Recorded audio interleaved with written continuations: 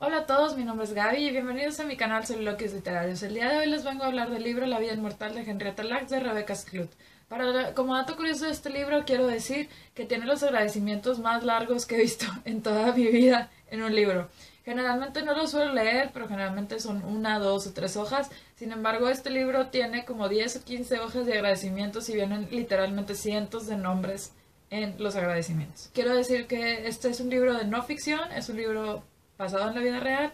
y pues les comento un poco de cómo me enteré de él. Yo estaba en una clase de bioquímica, para los que no sepan, estudio por el momento la maestría de ingeniería biomédica y estaba en mi clase y el maestro nos estaba dando pues información sobre un experimento que íbamos a hacer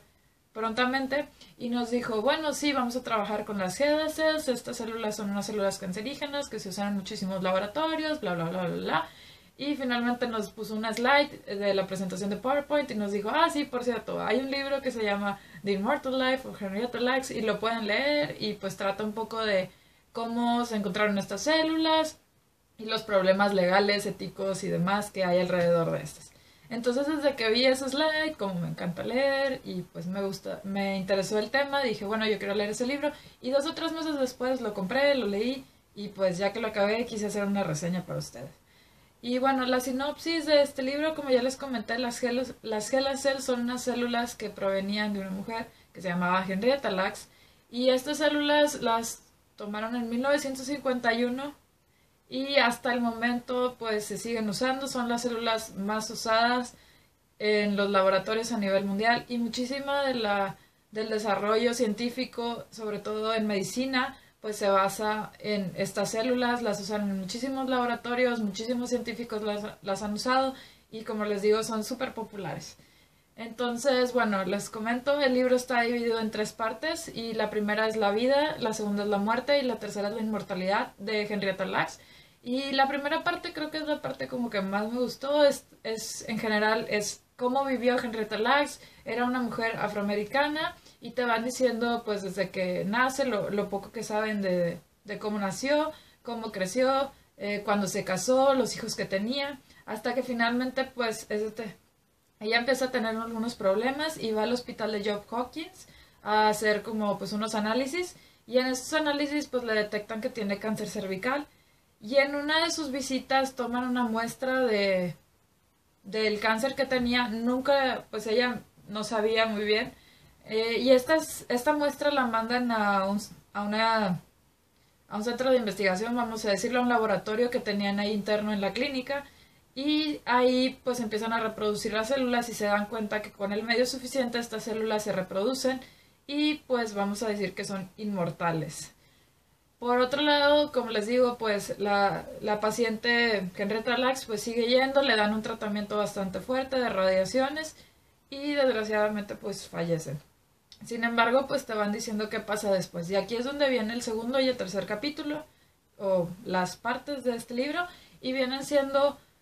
pues están contadas de una manera un poco extraña. En la edición que yo leí, que era de mi Kindle, una, venía en la parte de arriba de cada capítulo, venía una línea del tiempo donde te iban diciendo pues en qué momento estaba y el libro está narrado como de 1950 a 1999 y hace como retrocesos y demás, porque la autora te va narrando por un lado eh, qué pasó con las células, cómo las fueron usando, las fueron eh, enviando a muchos laboratorios y pues la gente empezó a hacer muchas investigaciones con estas. Y por otro lado te menciona la experiencia de ella haciendo este libro y, e informándose de cómo fue la vida de Henrietta Lacks y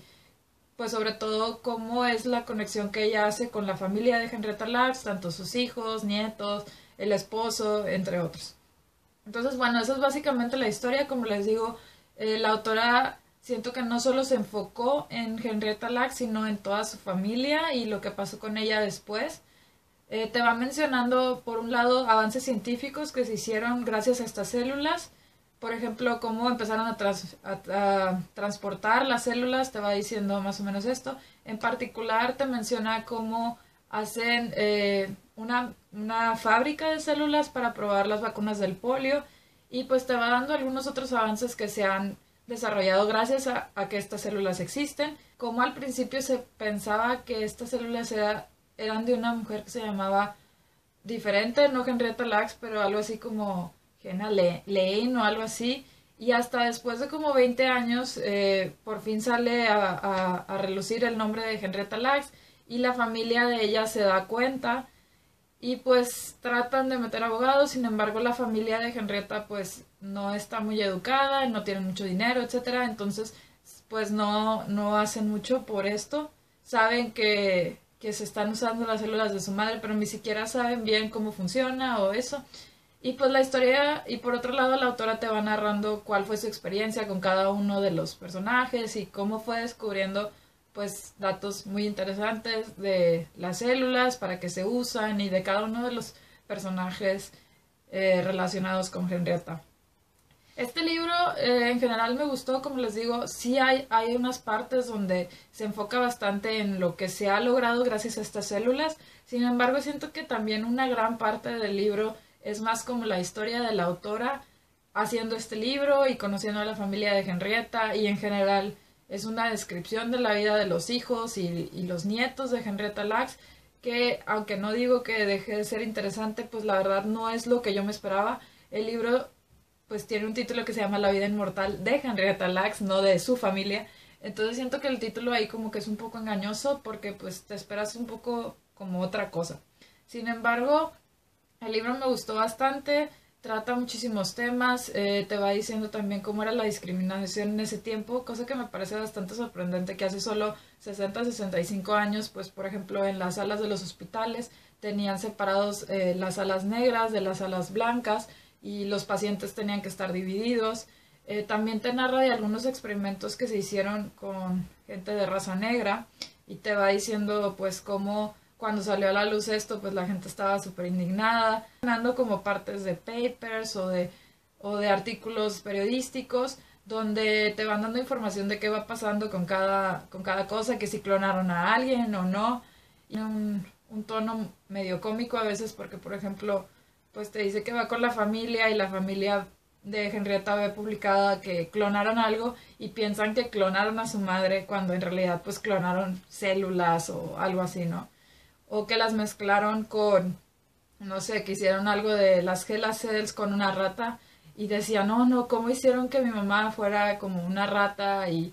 entonces estaba mencionando cosas así que, como les digo, por un lado, pues puede parecer interesante si les gusta esta cuestión científica, pero por otro lado, quiero decir que siento que la autora le queda mucho el dicho de el que mucho abarca, poco aprieta, porque siento que ella trató de ver muchísimos temas y aunque siento que algunos sí los logró bien, siento que salió sobrando y mucho del material y no era precisamente lo que pues yo esperaba con respecto al nombre del libro. Eh, por ejemplo, en la cuestión legal y ética, pues te va mencionando a veces algunos casos que se ha tratado de hacer, hasta qué punto nuestras células son nuestras y hasta qué punto pues son de la persona que las las cultivan, vamos a decirlo, si las reproducen. El valor comercial, por ejemplo, las células, eh, un vial que viene siendo como una ampolleta o un, tubito con células de gela, te puede llegar a costar desde 10 hasta 250 dólares estadounidenses. Entonces te quedas pensando si es a la familia de Henrietta Lacks le tocaría alguna parte o no. Y te va mencionando cómo están las leyes ahorita en Estados Unidos, eh, ¿Qué opinan los científicos que dicen que si pues cada persona dijera, no, pues si vas a usar mis células, necesito que me des una parte? Te preguntan, ella te, te, deja con la duda de hasta qué punto si empezamos a hacer eso,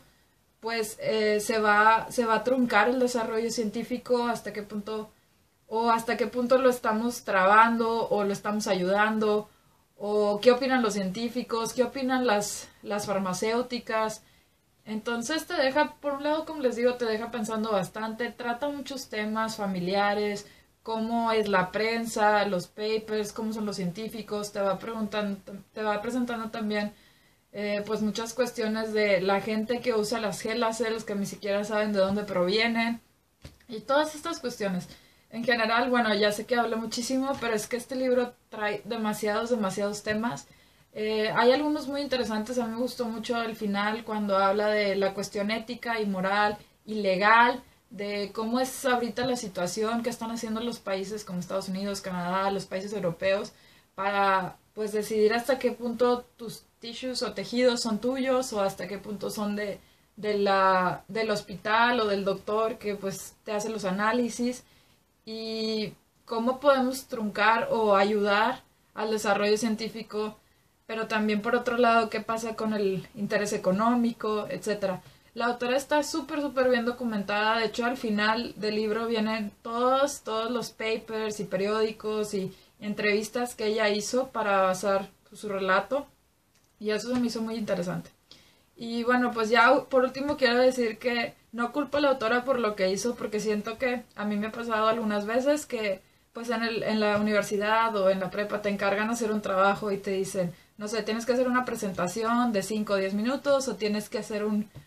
un ensayo o un escrito de 3 a 5 hojas y pues no sé, tú para hacer este trabajo investigas 5, 10, 15, 20, 25 horas y pues encuentras muchísima información, ¿no? Y tú quieres como demostrarle al mundo que tú sabes todo esto y que encontraste esta información y la quieres poner porque te parece interesante. Sin embargo, algunas veces el poner tanta información hace como que te vayas por la tangente y siento que eso le pasó un poco a esta autora. Pero en general, pues a todos los que les guste esto de los avances tecnológicos, si alguna vez han trabajado con las HeLa cells, con las células HeLa, eh,